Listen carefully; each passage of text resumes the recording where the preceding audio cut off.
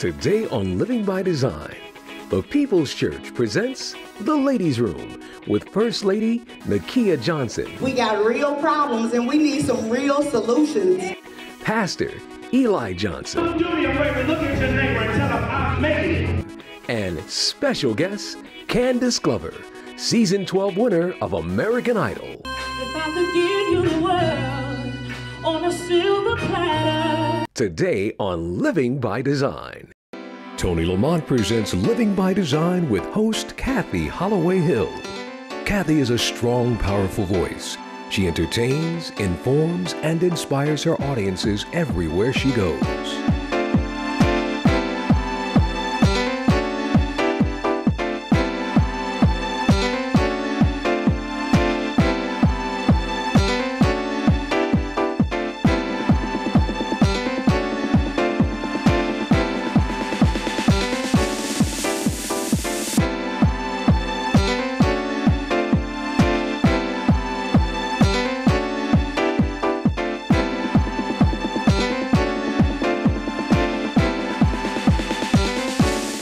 Hi, and welcome to Living by Design. I am so thrilled to be here at the Ladies Room, which is an event that empowers ladies because women, we know that we need to be empowered as sisters, as females, as women. So I am so thrilled to have the guest of honor tonight at this amazing event, Miss Candice Glover, who was the American Idol winner for se- from season 12.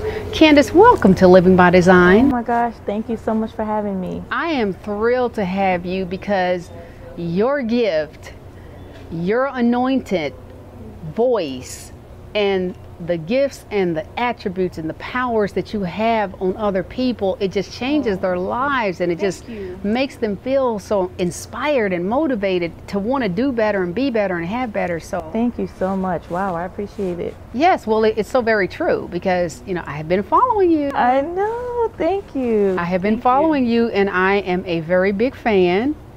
And there's a reason for that.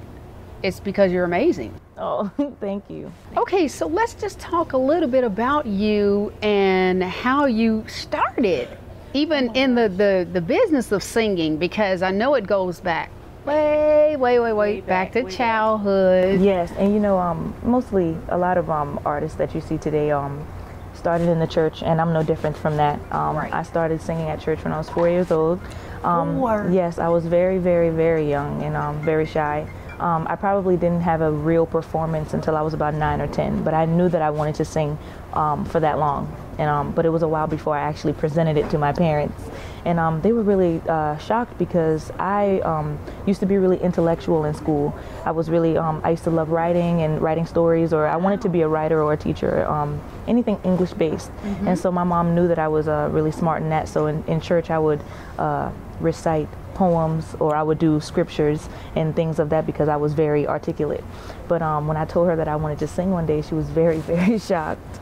And um, but she supported me. Her and my and my uh, and my dad and my entire family they supported me all through um, me wanting to sing as a child. And then uh, when I went to American Idol three times, they were right there with me.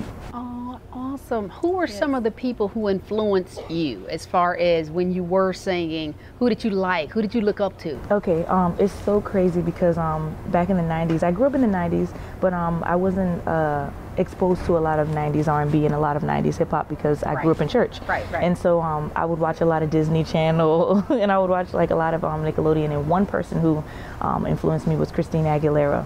Um, for her, very see that. powerful, yes, very powerful and very um, very uh very strong voice. She has very good vocal control and stuff and I always wanted to to sing like her and um I would model after her and then after a while I started to um just add my own thing as I went on. Right, right, because you definitely do have your own unique style. Yes. Uh, because I've, like I said, I've listened to just about every song that you've Oh, ever made. thank but um, so then, what made you decide to try out for American Idol the, the first time? The when first time. Um, well, I was, uh, I had just graduated high school and I was in, I grew up in Beaufort, South Carolina. Um, well, I'm from uh, Gullah Gullah Island, St. Helena Island. and um, um, I went to Beaufort High School and they had an event um, that was similar to American Idol. It was called Beaufort Idol, and so um, I won that, and I felt like you know if I won if I won that, you know I could win the real show. Um, so after I graduated high school, I made sure that I wanted to graduate. I made sure that I graduated first, um, so I wouldn't have to worry you know about school and everything. And um, I went the first time, and I got cut the first time. Um, Simon was there, and Ellen DeGeneres was there for the first time that yes. I auditioned season yes. nine, and then I got cut, and it was very, it was really heartbreaking. But at the same time, but you went to Hollywood Week though. Yep, every yep. single time that I that I did the show, mm-hmm. um, I went to Hollywood. So I didn't like you know get cut right then and there. yes, yes. Mm-hmm. And the second time is when I made it a little further, and me, uh, Jessica Sanchez, and DeAndre had that really big um, performance together of um, uh, it doesn't matter anymore. Yes. And so that's how I kind of created my fan base because I was on that season, but I got cut, and everybody was like, "It's such a travesty. Why did she get cut? Why did she get cut?" And so um, that alone kind of encouraged me to uh, go back a third time. Now, the third time you came back, it was four judges mm-hmm. because I know there was Mariah and, and uh, Nicki Minaj Nicki, yes. and Randy and, and, and Keith Urban. Keith Urban, that's mm-hmm. right, yeah. And the song that you sung in the audition, your first audition, it was what? What was the name um, of that? Because syrup I, and honey. Yes, I had never heard that song mm-hmm. in my mm-hmm. life, but after you sung that song, and you was like, oh, you put some real oh. hard, strong yes, gospel yes, in soul, there. Yeah. Don't you be wasting all your money on sin and honey because I'm sweet enough. Hello. And don't you be using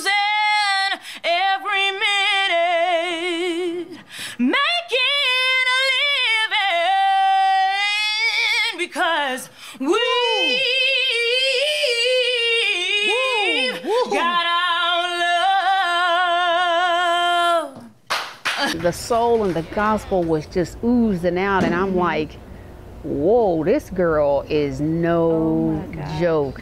Candice, I have so much more I want to say to you, but we need to take a quick break. We are going to be right back with more of the amazing Miss Candice Glover. Don't go anywhere. I'm excited for you guys being here. And um, a lot of you don't know I have these young ladies on my panel because of their expertise.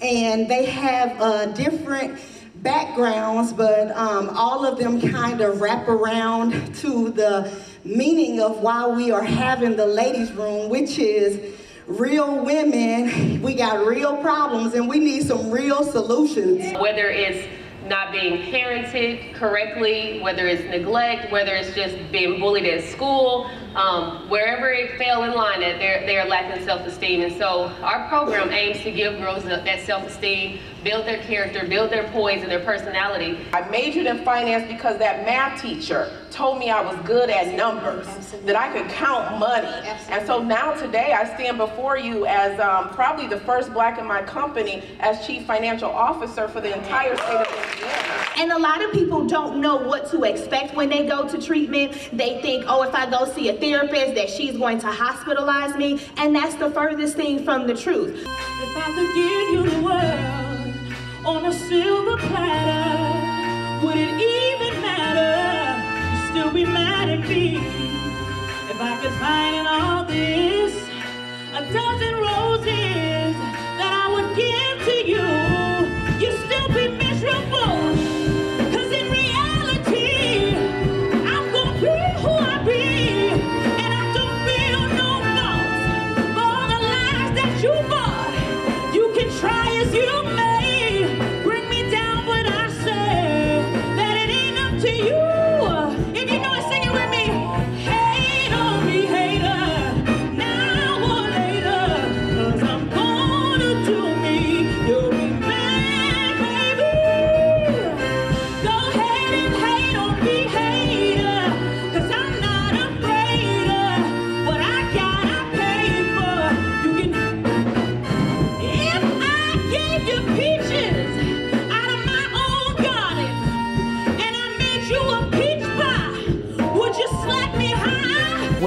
Back. We are here with Miss Candice Glover. And Candice, I'm just having such a great time getting to know you and talking to you.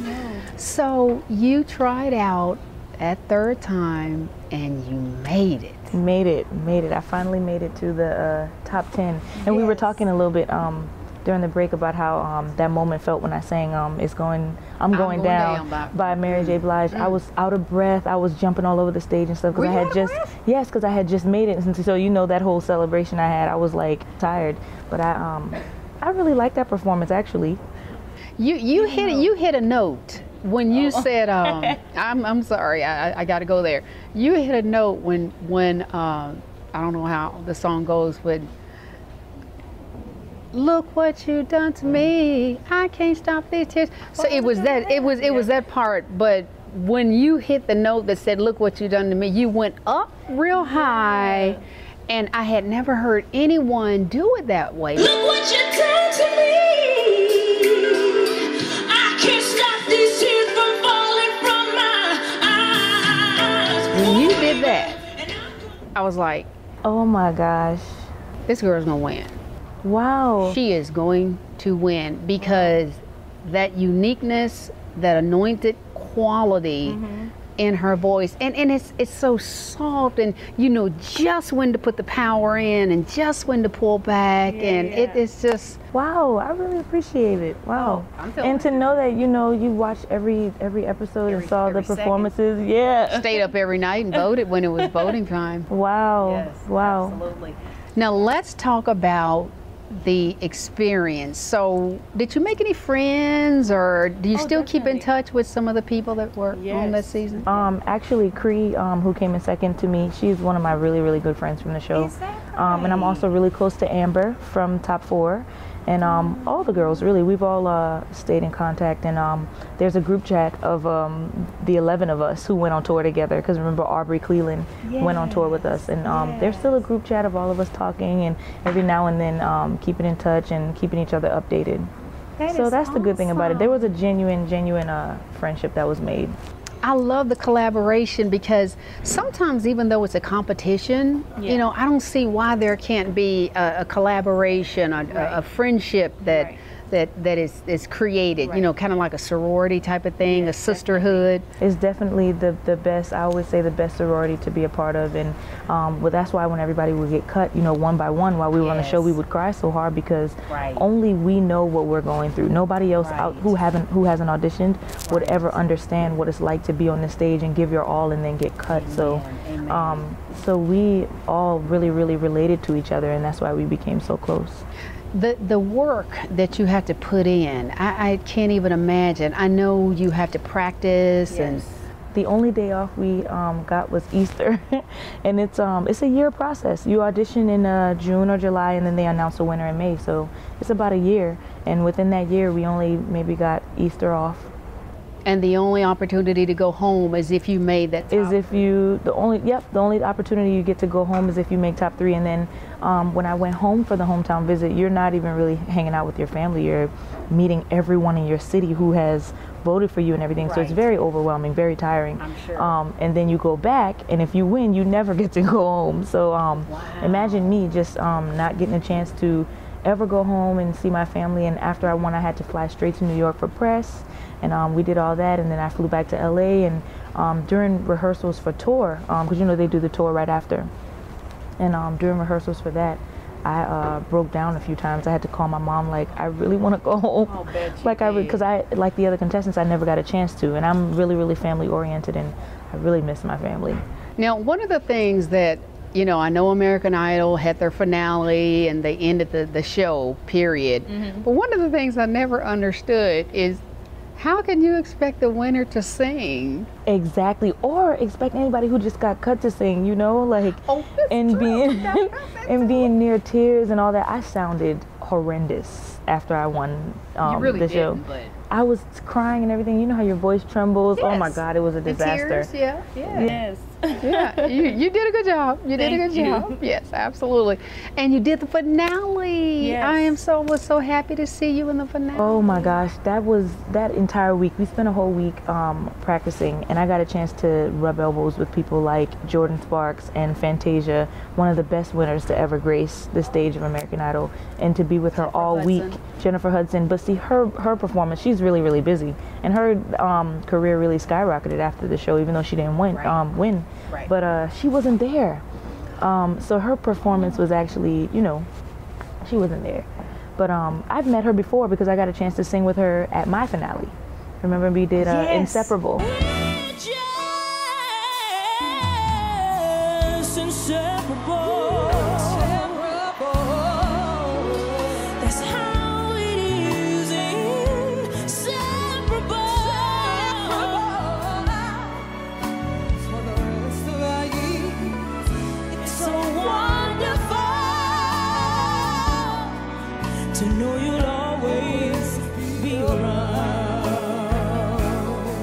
Yes. So yes, I did get a chance to meet her, but she wasn't at this one, but Fantasia was. So I got a chance to uh, just be around her the whole week, and she's just a genuinely sweet person. There was no feel of competition the whole week.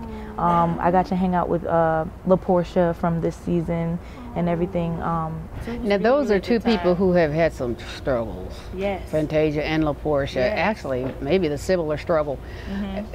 I am just, oh, I'm just having such an amazing time.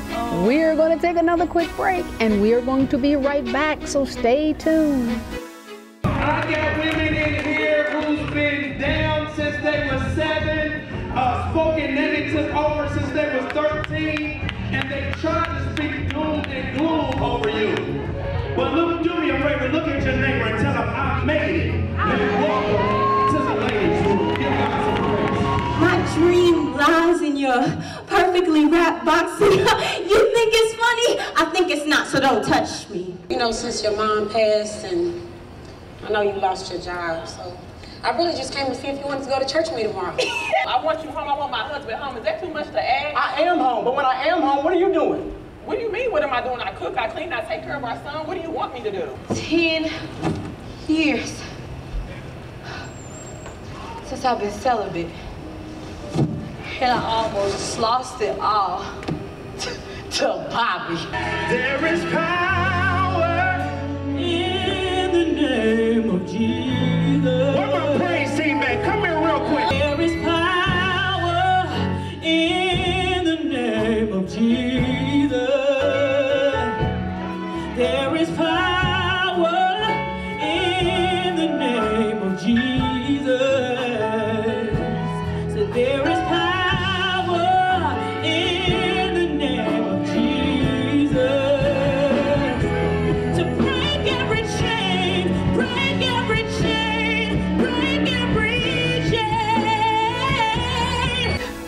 Welcome back to Living by Design. I can you tell I am having a great time. Oh my goodness, this is just the best interview ever.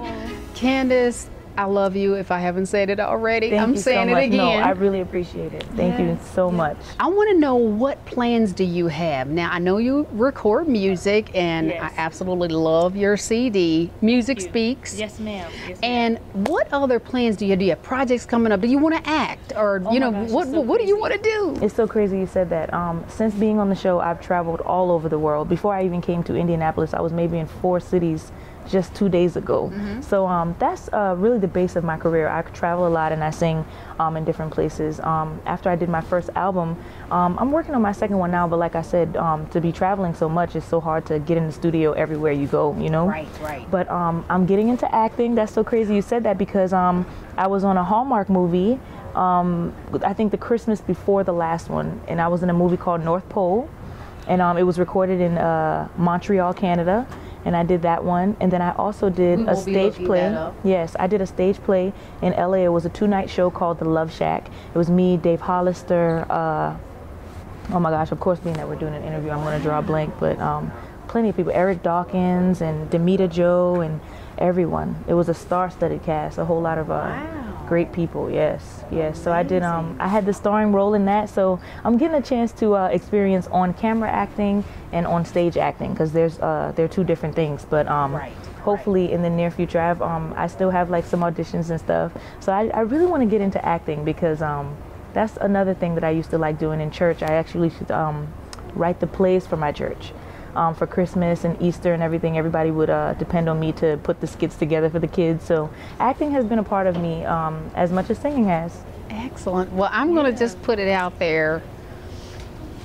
I don't know if anybody's watching that could help make this happen. I want a collaboration between you and Fantasia. Oh, me and Fantasia, yes. Oh my gosh, and we connected so much um, that week. I would like I can already see that happening. Um, I would definitely, definitely love to work with her. Like I said, she's really genuine, and her talent is out of this world. So that would be an honor to me.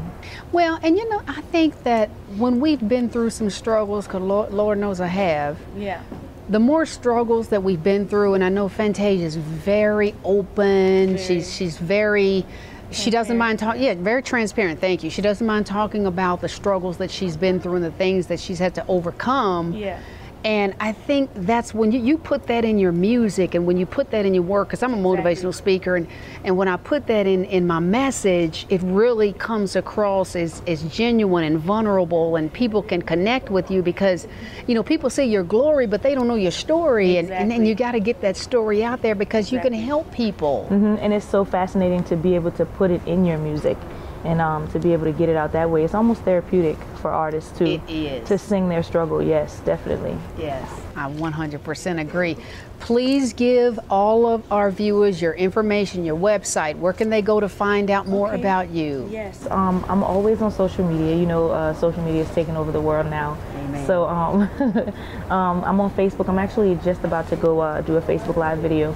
It's um, facebook.com slash candice glover music and I'm on uh, Twitter, Candice Glover, Instagram, Candice Glover, and my Snapchat is Candice Raquel. And uh, Periscope is Candice Glover as well. Excellent, mm-hmm. excellent. Well, I hope you all got that because yes. we will be keeping up with you and you. making sure that whatever is going on, we're going to buy it, yes. we're going to come see it. If it's a, a, a stage play or a movie or whatever oh it is, gosh, we are you. definitely going to be supporting you. So thank you so much for joining us and thank talking to our viewers. Yes, we just think you are amazing. I just think you're amazing and just keep on inspiring people and, and, and making a difference in the world because yes. our young people need it. I'm going to ask one more favor of you before we get off and, okay. and, and leave this interview. I want you to look into that camera and if you could give advice to our youth, okay. our young people who just seem to be lost, and there's so much violence and crime and suicide and addiction and right. and, and so many things just toxic in our world today, what message would you give them?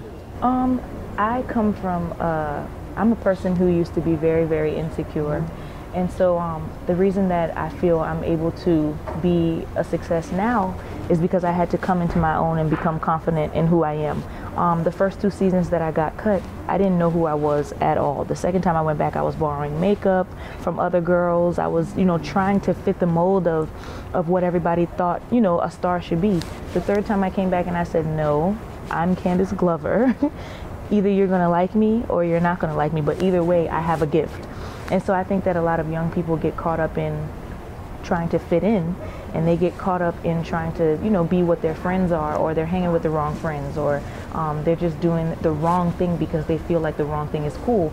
Um, i've been through that just like um, every other child. And what i can tell you is that being yourself and being authentic and knowing who you are is the key to anything. It doesn't matter if you want to sing, if you want to dance, if you are completely yourself, people are going to appreciate and respect you on a totally different level. And I'm learning that every single day as I'm in this industry and meeting people in different industries or what have you. Whether you're a cook, a chef, whatever, if you're doing your own thing, people will respect you. So I think that's that's I've, I've tell other uh, contestants that from the show this season, La'Porsha and um, all of them. Just be yourself, and people will love you for it. That is outstanding advice because I I always say you were not born to fit in. You were born to stand out. Right. We all have unique gifts and talents. Please throw yourself into self discovery. Discover what is your gift and talent and go after it. Go after Thank it. you for joining us for this episode of Living by Design. We appreciate you, we love you, and we'll see you next week.